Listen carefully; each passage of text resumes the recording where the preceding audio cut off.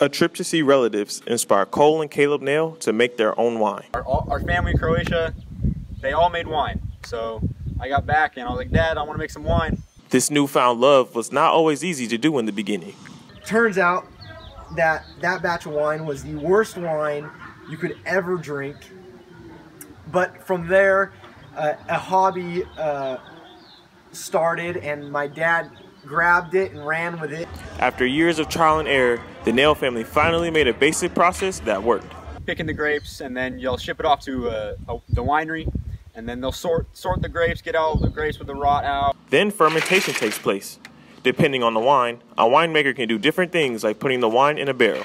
In the barrel, it, it'll attract the oak um, out of the barrel and it'll go through a secondary fermentation called malolactic fermentation, turning that malic acid into lactic acid.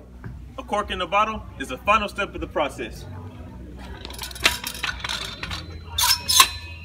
But that's just the beginning here at Ziveli Winery. The nails fix their barn and turn it into much more. We have, ironically, baby showers, um, family reunions, and we have tables inside. Oh, we have very nice dinners. We want to put Fresno on the map for wineries. That's our, that's our main goal.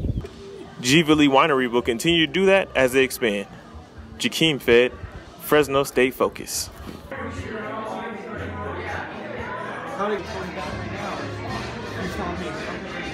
Quick video, just so I can use it as B-roll.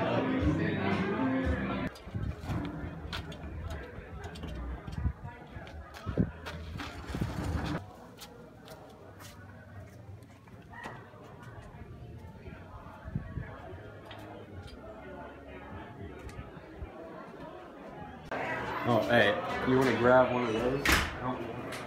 What a what?